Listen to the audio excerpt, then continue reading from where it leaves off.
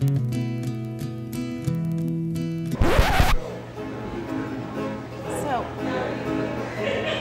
tell me about Leanne. She was beautiful.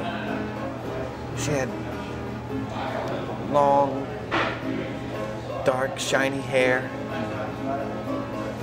almond eyes, little pointy ears, buck teeth fluffy tail. Oh, oh, and she was fast, like.